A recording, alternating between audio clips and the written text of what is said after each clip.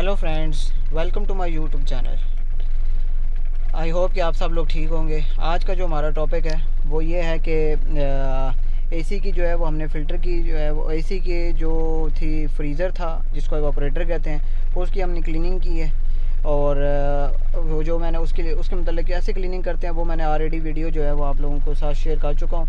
तो जब मैंने क्लीनिंग की है ब्लोअर की क्लीनिंग की है, उसके बाद पूरा ये जो है वो गाड़ी का डैशबोर्ड रिमूव किया हुआ था। लास्ट नाइट मैंने इसको दोबारा से इंस्टॉल किया डैशबोर्ड को। और डैशबोर्ड इंस्टॉल करने के बाद तमाम चीज़ें जो कनेक्टर्स वगैरह थे, वो अपनी अपनी जगह पे लगाए। जो वायर्स जो है वो टूटी फूटी हुई थी, वो मैंने दोबारा से जो है वो उनको नई वायर्स उसके अंदर डाली हैं।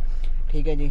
तो उसके बाद जो है ना अभी सारी जब गाड़ियाँ संभल हो गई है तो उसके बाद मैंने जो है ना अभी इसका जो वीडियो शेयर करने का पर्पज़ है, वो ये है कि आप इसकी अभी थ्रस्ट चेक करें।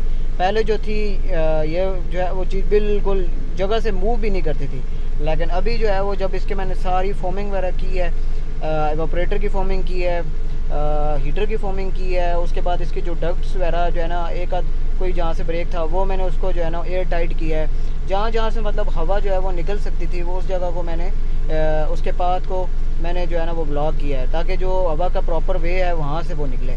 तो अभी जो है वो अलहमदिल्ला हर मैंने जो है ना वो इसको मोड को चेंज किया है। मोड को चेंज करने के बाद इसकी जो फ्रंट है, ठीक है जी, जो फुट की तरफ़ है, ठीक है, और जो शीशे की तरफ़ है आपका विंड स्क्रीन की तरफ़। तो वो अलहमदिल्ला उसका जो है वो बेहतरीन जो है वो इसी की थ्रस्ट है।